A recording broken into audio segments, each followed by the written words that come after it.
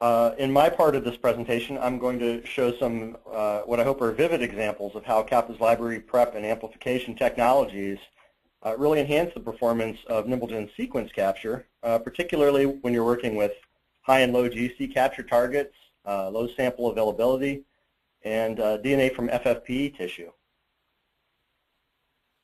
So again, this is a diagram of the sequence capture workflow, just to point out again that a sequencing library prepared with Kapa reagents is the primary input into the NimbleGen solution capture reaction.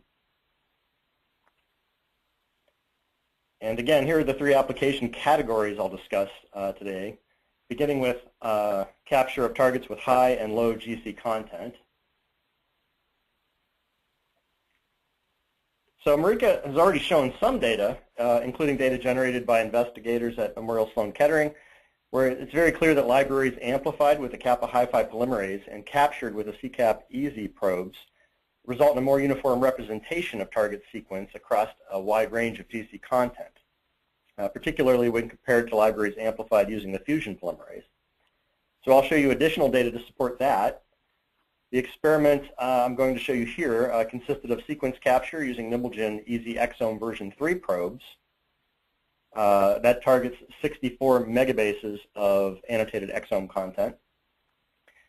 Uh, two replicate experiments were performed using libraries constructed and amplified using the previously recommended workflow, uh, which was the TruSeq library preparation kit with the Phusion polymerase for amplification. Two replicates were performed using libraries constructed and amplified using the new workflow, uh, the Kapa Library Prep Kit and the HiFi polymerase. The input DNA in each case was a HapMap cell line DNA.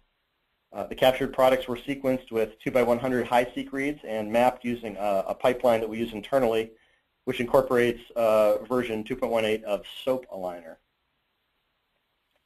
So coverage over the capture targets was measured according to the percent GC content of the individual captured targets. So here are the data from the two captures using the previously recommended workflow. The targets were grouped into bins according to their percent GC content, and those bins are arranged left to right on the x-axis with high GC content targets on the right side of the graph. The mean coverage depth over targets in each bin is shown on the y-axis. The inset, inset at the top right of this graph is just a zoom of the highest GC bins, so you can see that more, more clearly. So I think it's widely appreciated that targets with very low or very high GC content are not well represented in the data from any type of targeted enrichment workflow, and indeed most sequencing workflows that include a polymerase amplification step. And that's indeed what we see here. Uh, what isn't very well understood uh, yet is how much of this effect is primarily due to library construction, library amplification, probe hybridization reactions, downstream sequencing, or some combination of these sub-processes. So here are the data from the new workflow overlaid on top of the data from the previous workflow. What is apparent is that the data from the Kapa workflow demonstrate a much greater uniformity with higher coverage over both low and high GC content targets.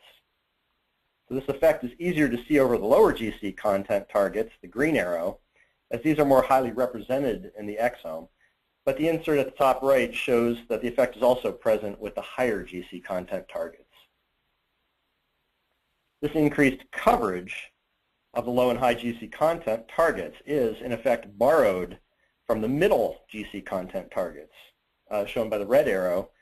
But that's a good thing, as the coverage here is generally more than sufficient to call SNPs accurately. But there's a lot of space in the difference between these two curves or distributions, uh, particularly at the extremes of GC content, where important variants might be hiding. Uh, these variants are now accessible when you combine the Kapa library prep and amplification reagents with the NimbleGen sequence capture technology. Thank you